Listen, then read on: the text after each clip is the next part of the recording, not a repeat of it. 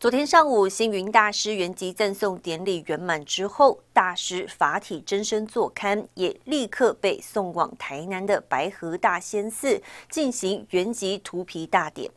佛光山长老们为大师法体真身覆盖上金被，而佛光山退居和尚心定和尚则是亲自举火，带领全场恭送星云大师最后一程。师父上人，我们已经到台南大仙寺。幸运大师法体真身坐开涅盘塔车队，浩浩荡荡抵达台南白河大仙寺。董事长传正大和尚住持圆智法师率领四众顶礼三拜，而佛光人也夹道跪拜迎接。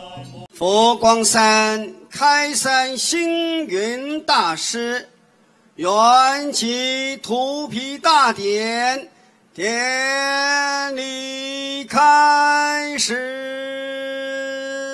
弟子们合力把星云大师法体真身送进会场，众人依序上前上香致意。随后，大师法体真身也在图皮台上就定位，长老覆盖金。佛光山长老们为星云大师法体真身盖上金被，紧接着由佛光山住持星宝和尚举火说法。双林树间，山门极静，今海众云集，土地一句如何赞扬？四大皆空似现有，五蕴和合亦非真。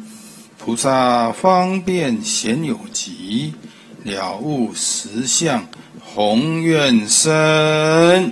请退居和尚心定和尚举火，按下按钮，涂皮程序正式展开，全场不断礼拜，恭送星云大师最后一程。红发离声残阳中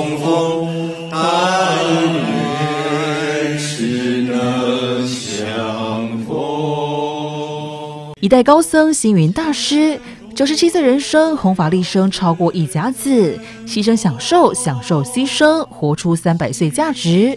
如今舍报原籍，留给各界无限追思，以及三好四给五合慈心悲愿，也成为后世最好典范。因为是台北、台南综合报道。